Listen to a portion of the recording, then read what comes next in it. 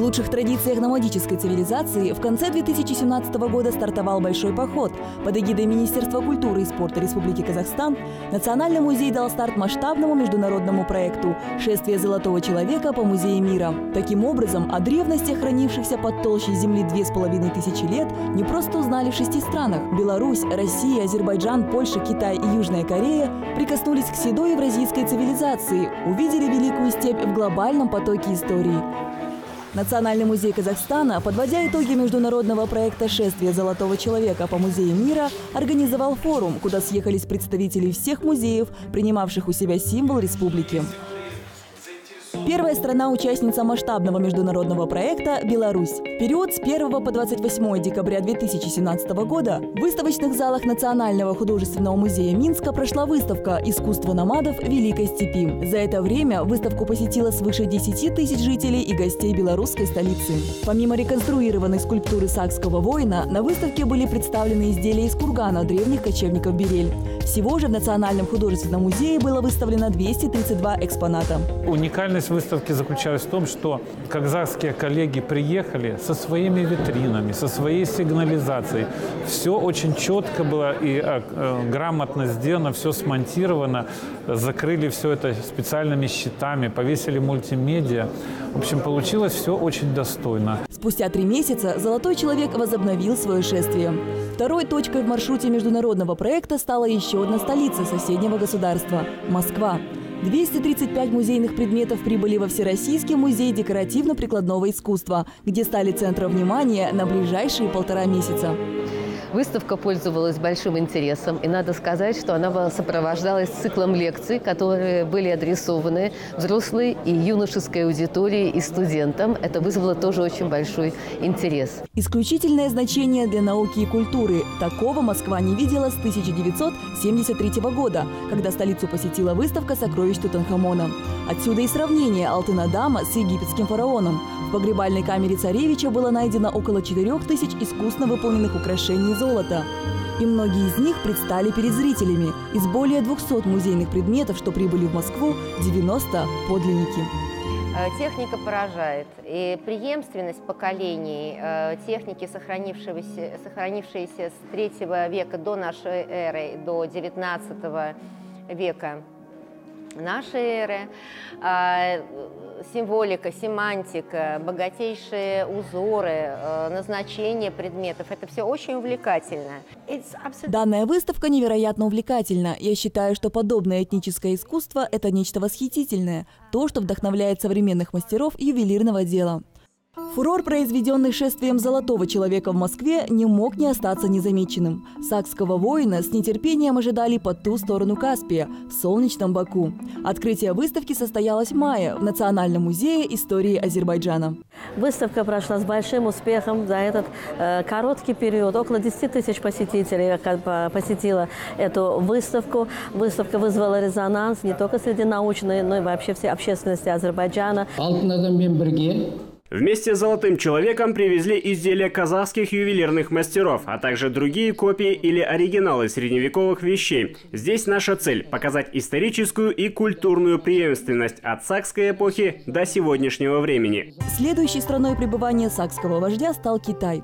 Но на этот раз в историческом музее Шинси города Сиань была представлена еще одна уникальная находка – таксайская принцесса. Батыс Казахстан. В комплексе Таксай-1 в Теректинском районе Западно-Казахстанской области было найдено погребение сарматской знатной женщины. Конечно же, находка является очень ценной для археологической науки. Артефакт изучал доктор исторических наук Сыздыков в 2012 году. В результате этих исследований мы можем видеть такую прекрасную реконструкцию. В экспозицию выставки вошли не только таксайская принцесса и золотой человек, но и другие находки из кургана Исык, уникальные произведения ювелирного искусства 15 века из городища Сайрам, древности из кургана Центрального Казахстана 7 века до нашей эры, а также серебряные украшения 19 века. Если сравнивать с другими проводимыми нами выставками, сегодняшнее мероприятие по объему мало отличается от подобных экспозиций. Обычно предоставляются экспонаты в количестве 100-200 предметов. Но уникальность этого проекта в другом, ведь в основном выставляются копии. И совсем другое дело, когда так много оригиналов. Шествие Золотого Человека по Музею мира позволило расширить горизонты. И теперь о главном символе Казахстана говорят не только в Центральной Азии, но и на Дальнем Востоке и в Европе. Очередное кочевье привело Золотого Человека к берегам Балтийского моря. Выставка Национального музея Казахстана в Польше – это первый совместный проект, показывающий сотрудничество с центральноазиатскими странами. Нам очень приятно, что такой известный музей такого уровня, государственный, национальный, решил показать свою коллекцию именно у нас, в нашем музее в Гданьске. Данная выставка очень многое расскажет о культуре и истории казахского народа, о которой на данный момент поляки не знают достаточно. Нам это очень интересно, так как история саков тесно переплетена с арматами, а они, в свою очередь, считаются в нашей истории великими предками предками. В Польше казахстанскую делегацию ожидали в историческом музее города Гданьск. В октябре 2018 года прошло торжественное открытие, где «Золотой человек» ожидаемо приковал взгляды польской общественности. Но не меньший интерес вызвал сарматский вождь, найденный в ходе экспедиции под руководством казахстанского археолога Зейнулы Самашева. В первом тысячелетии, в конце, так сказать, тысячелетия до нашей эры, в первом тысячелетии нашей эры, племена, которые жили на территории западного Казахстана, известные по Геродоту, по античным письменным источникам, как сарматы, они начинают продвижение на запад. И тысячелетии нашей эры они появляются на территории Центральной Европы. И они вошли как этнический состав, как э, составная часть этногенеза таких народов, как готы, э, гунны, э, кельты. Поэтому у нас очень много того, что есть в общем культуре и в истории. Конечной точкой в шествии в 2018 году стала южнокорейская столица Сеул. Слава об удивительном золотом человеке все больше распространялась с каждым новым городом, значившимся в проекте. Поэтому в Сеул он прибыл окруженный восхищением сотен тысяч людей, уже повидавших его.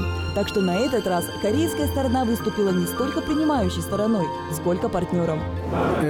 Отношения Казахстана с Кореей успешно продвигаются. Многие корейцы сейчас заинтересованы в бренде «Золотого человека». Я приехал на выставку по рекомендации коллег из других стран. Выставка «Золотого человека» не будет проходить единожды, я надеюсь. В будущем в Корее будут выставки из Казахстана, а в Казахстане будет то, что будет знакомить Казахстан с корейской культурой. я надеюсь, что таким образом мы продолжим сотрудничать. В Национальный музей Кореи по инициативе принимающей стороны прибыло сразу две экспозиции – «Наследие Великой Степи. Шедевры ювелирного искусства» и «Казахстан. Колыбель Золотого человека». В общей сложности на двух выставках было представлено 458 уникальных музейных экспонатов.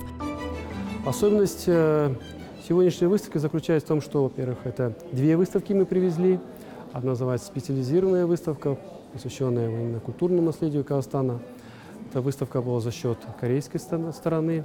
Они сами изъявили желание, они сами инициировали этот проект, чтобы и полностью значит, финансируется за счет корейской стороны. На этом мировое шествие «Золотого человека» не окончено. На итоговой пресс-конференции, состоявшейся в Астане, были представлены материалы и каталоги по итогам прошедших шести выставок, а также были анонсированы страны, в которые отправятся реликвии в 2019 году.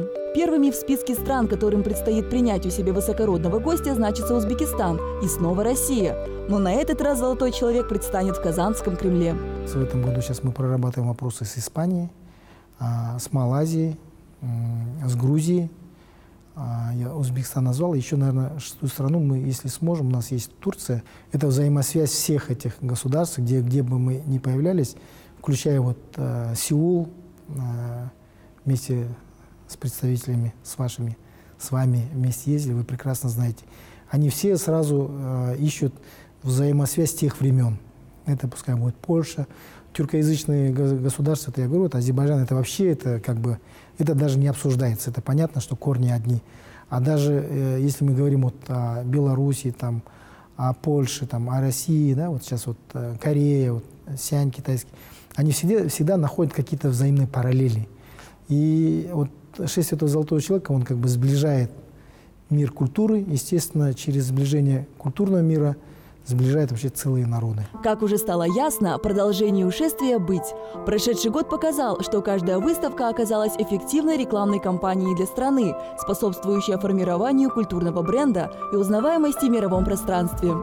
Помимо всего прочего, это уникальная площадка, позволяющая продолжать исследования, по крупицам восстанавливать и находить новые связи кочевой цивилизации, которые дополнят и обогатят нашу историю.